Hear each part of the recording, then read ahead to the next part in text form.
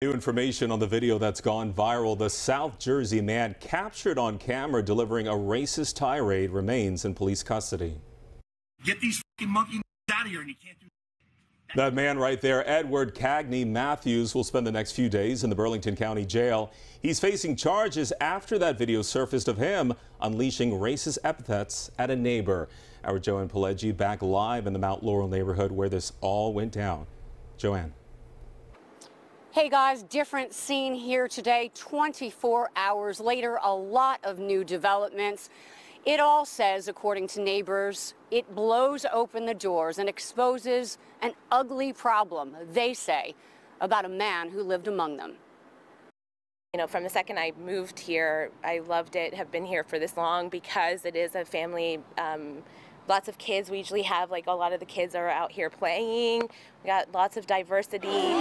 But watching her neighbor, 45 year old Edward Cagney Mathews, escorted from his condo last night, surrounded by police, heckled and assaulted with plastic bottles by protesters.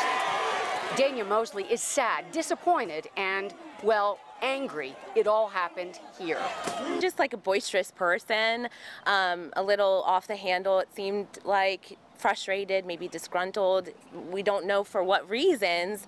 Mathews spent the night in jail after county prosecutors filed new charges against him in connection to an argument with a neighbor where he used racial slurs, a dispute that was captured on video and widely circulated, drawing protest outside his home and outside the Mount Laurel Police Station today. All right, well, that's a satisfaction to, to be able to give to the people that he was in fact arrested. He is uh, currently awaiting um, a hearing but we don't intend to stop there. Get these fucking monkey out of here. And you can't. Activists say Mathews is alleged to have terrorized others in the neighborhood because of their race, and nothing was done until he was caught on camera. It's not Africa.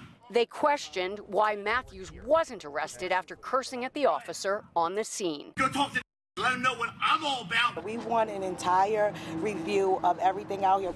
Out there in the complex on a white fence, Another racial slur smudged into the moss covered vinyl, the N word. Neighbors claim Mathews did it after his confrontation. Police have not confirmed that. For, for my daughter to have to worry or, or see that or have to read it somewhere where I might not be there for her to, to explain is just a very, very sad situation. As you can see behind me, Mathews windows are boarded up after protesters broke them last night as police were taking him out of here. He is in jail. Prosecutors petitioned to keep him there until his preliminary hearing on Friday. Police have set up a hotline to find out if there are any other victims. Tonight we're live in Mount Laurel. I'm Joanne Pileggi, Fox 29 News. Back to you, Shana. All right. Thank you, Joanne.